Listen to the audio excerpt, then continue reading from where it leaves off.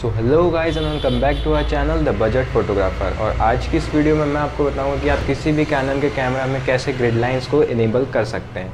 तो grid line से सबसे पहले मैं आपको बेनिफिट्स बता दूँ। तो सबसे पहला बेनिफिट उसका ये होता है कि हमें फ्रेमिंग करने में काफ़ी आसानी होती है। दूसरा ये कि हम कंपोनेंट्स काफ़ी इजीली समझ पाते हैं, आप वर्टिकल लाइन समझ पाते हैं, आप हॉरिजॉन्टल लाइन समझ पाते हैं। और इसके साथ साथ तीसरा ये कि आपको जब भी आप लाइव व्यू पर शूट करें तो आपको काफ़ी आसानी हो जाती है अपने कैमरा से और अपने फ्रेम से कोऑर्डिनेट करने में। तो let's go straight to our camera और देखते हैं कि ये कहाँ से इनेबल होता है। सो so गाइज़ हम जो यहाँ पर कैमरा यूज़ कर रहे हैं, वो है कैनन 200D Mark II तो चलिए इसे करते हैं ऑन कैमरा ऑन करती है हमारे पास। यही बेसिक इंटरफेस जो हर कैनन कैमरा में हमें देखने मिल जाता है, चाहे वो मिररलेस हो या फिर डीएसएलआर तो अभी यहाँ पर एम इसीलिए शो हो रहा है क्योंकि मैंने अभी इसे मैनुअल मोड पर रखा है। तो चलिए देखते हैं ग्रिड इनेबल कैसे करनी है। और अब हम यहाँ पर जाते हैं तो हमें बहुत सारे बेसिक फ़ंक्शंस मिलते हैं मेन्यू पर। अलग अलग सेक्शन मिलते हैं जैसे कि शूटिंग प्लेबैक वायरलेस फ़ंक्शन और डिस्प्ले लेवल्स तो सबसे पहले हमें जाना है फ़ंक्शंस पर। जो फ़ंक्शंस होता है, वो हमारे स्क्रीन से रिलेटेड होता है। तो अभी आप देख सकते हैं यहाँ पे हर सेक्शन में सारे ऑप्शन स्क्रीन से रिलेटेड है, मगर कहीं पर भी हमें ग्रिड व्यू का ऑप्शन नहीं मिल रहा है। इसके लिए हमें जाना पड़ेगा वापस अपने शूटिंग मोड पर।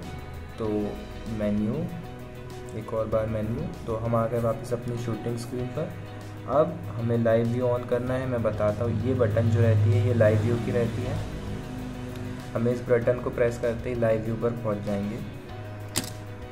तो ये हो गया हमारा लाइव व्यू ऑन तो जैसा कि आप देख सकते हैं, अभी यहाँ पर हमें कोई भी ग्रिड देखने नहीं मिल रही है स्क्रीन पर, अगर आप देख सकते हैं तो।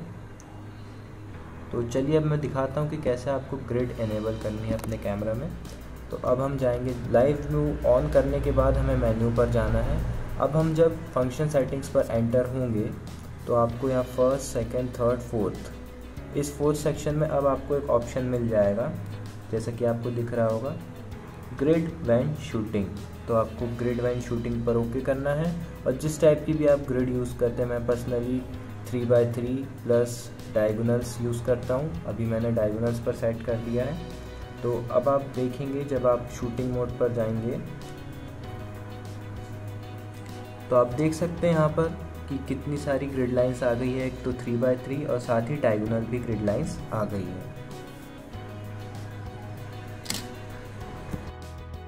सो so गाइज़ ये थी वीडियो कि आप कैसे अपने किसी भी कैनन के कैमरा पर ग्रिड लाइंस को इनेबल कर सकते हैं और यूज़ कर सकते हैं।